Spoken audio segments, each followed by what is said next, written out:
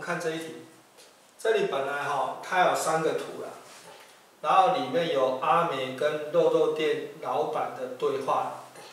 那阿美就问老板了，他说：“老板，我想买两串粽子。”那老板说：“哈，如果你买三串的话，每一颗呢，每一粒哈，每一粒粽子我都少收你一元。”然后这个阿美的话就开始想了。想说哈，这样子买三串肉粽的价钱哈，会比买两串肉粽的价钱多两百二十四元。那一颗粽子哈，大概三十几元呐。他家问说哈，哪一个的话呢才是正确的？好，哪一个才是折扣前的价钱？好，那现在的话我们怎么做哈？我们假设哈，一串粽子哈有 n 个，一串粽子有 n 个。然后每一个是 x 元的。好，那你现在的话呢？呃，如果你买三串的话，哈，买三串的话，呃，n 了哈，那每一个现在少一元嘛，就 x 哈减一嘛，少一元。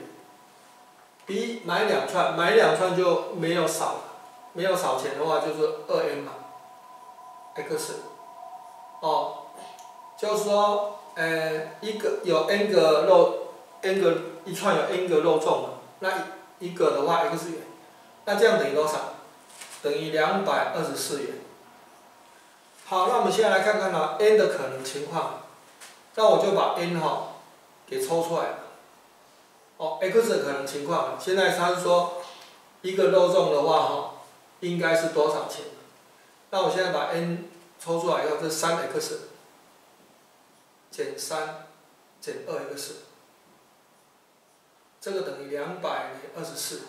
好，那这个又会等于多少？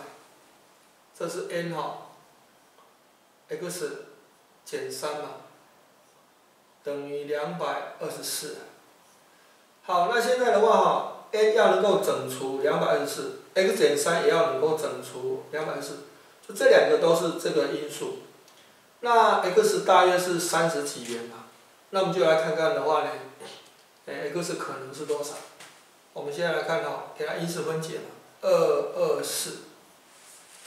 我现在用四好了，四五二十嘛，四六二十四，再用四好了，四一四四四十六，这样二，四一四嘛哈，四十六，二。